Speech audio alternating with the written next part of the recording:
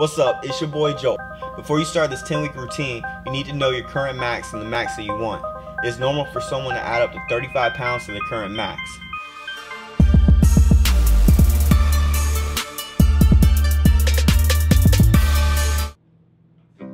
Conduct your usual workouts. Just add Ed Coan's deadlift routine into your schedule once per week.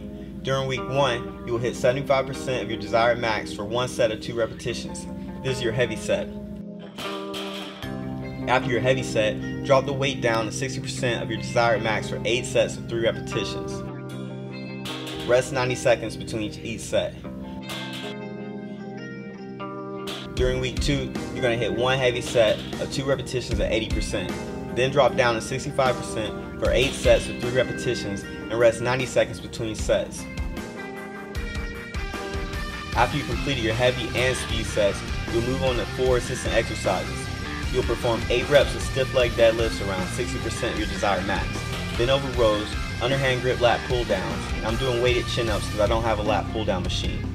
You'll also perform 8 reps of arch back good mornings. Once you completed 8 reps of each exercise, rest for 2 to 3 minutes.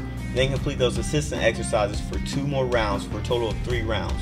Don't forget to rest 90 seconds between each exercise and 2 to 3 minutes between each round.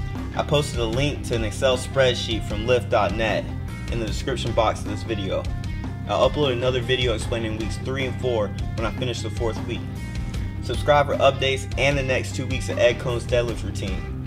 Hit the like button if you want to give this workout a try, and if you have any questions, leave a comment below.